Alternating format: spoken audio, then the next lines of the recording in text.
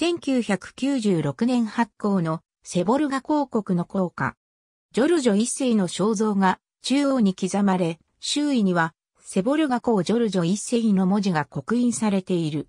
ジョルジョ一世はイタリア北西部にあるミクロネーション、セボルガ公国の原種を名乗った人物。元は夏季栽培農家で、本名はジョルジョ・カルボーネ。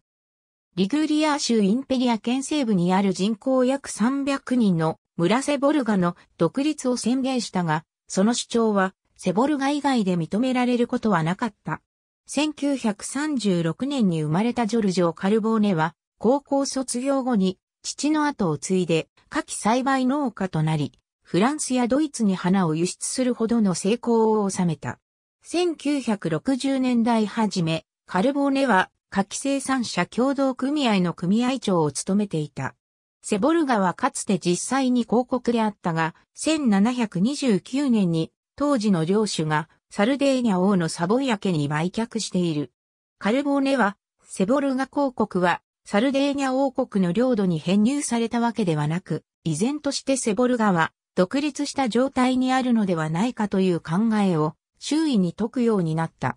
1963年、セボルガの人々はこの物語に乗り、カルボーネを国家元首に選出した。これにより、カルボーネはセボルガ公ジョルジョ一世のあだ名で知られるようになった。1995年には、セボルガの独立をめぐる投票が行われ、憲法が制定されて、カルボーネは改めてセボルガ公に衰退された。世界のメディアの注目を集めたこの年、村は10万人もの観光客を集めたという。ジョルジョ一世に対する公的な継承としては、殿下スアールテッツァセレニッシマが用いられているが、地元ではその途方もない大きさに敬意が払われ、スアトロメンディッタの愛称で呼ばれた。君主や王族の高い地位に敬意を払う、スア・アルテッツァの文字りである。カルボーネがテレビ番組に出演することは滅多になかった。2005年、BBC のドキュメンタリーコメディ番組、How to Start Your Own Country の第3回4、キングカントリーで姿を見せたのは、その稀な例である。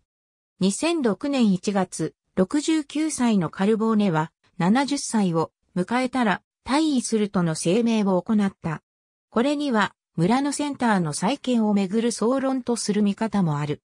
セボルガ校の決定は2006年1月16日の BBC ワールドサービスのラジオ番組ワールドトゥデイで報道された。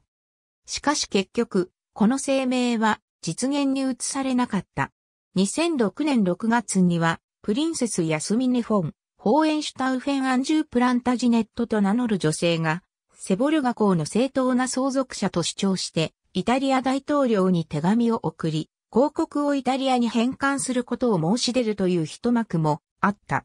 元より、こうした主張は根拠がなく、無効である。2009年11月25日、筋粛性側索硬化症により自宅で没した。兄弟姉妹はなく、生涯独身であり、子供もいなかった。セボルガ高校居を受け、フランコ・フォリアーニ村長は地元メディアに対して次のように答えたという。ありがとうございます。